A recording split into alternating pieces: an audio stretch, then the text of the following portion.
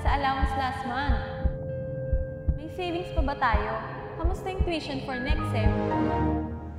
Familiar ba sa inyo na ma-awkward o mag-shutdown kapag usapang pera? According to a study in the US, 68% of people would rather talk about their weight than money. O di ba? Hindi lang pala ito pang Pinoy.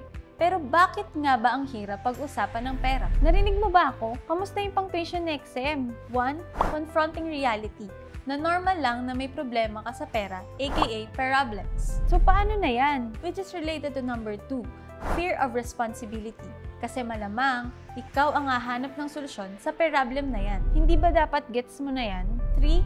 Fear of judgment. It's not uncommon to associate your self-worth with your financial situation. Naturally, most of us do not want to feel that we are doing poorly compared to others. And we don't want other people to think any less of us. Nakakabili ka ng kung ano-ano online pero 4. Guilt and its close cousin regret. Sino ba naman ang gustong pinapalalahanan ng mga pagkakamali niya, di ba? Gaya na lang ng pagpatol ko sa payday sale. Nakakainis ka. Nakakainis ka talaga. And finally, fear of conflict.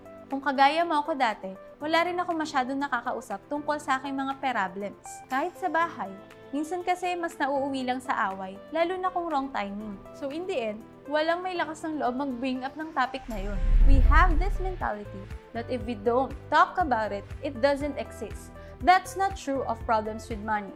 Problems do not disappear, not unless you solve them. Thing is, kapag hindi mo pinansin ang naiisip at nararamdaman mo tungkol sa iyong problem, aka hindi mo na-express at nagpanggap ka na wala lang ito, una, maaari kang ma-stress at sumabog kapag sobrang lala na. Pangalawa, maaaring hindi mo mahanap ang solusyon sa iyong mga problems. Ulitin ko, kapag hindi mo na-express o napag-usapan ang problema mo sa pera, maaring ma-stress ka or worse, hindi mo ito masolusyonan. If you have family, friends, or jowa who can point out problems for you and help you solve them, ikaw na besh.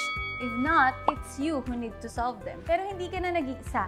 In the next few videos, I'm going to offer you some tips on how you can start sharing your problems. Ako si Ate Hana. Kung naniniwala ka na ang kabataang Pilipino ay dapat at kayang simulan ng usapang pera, give this video a thumbs up. May experience o tip ka ba na gustong i-share? Just comment below. See you next time!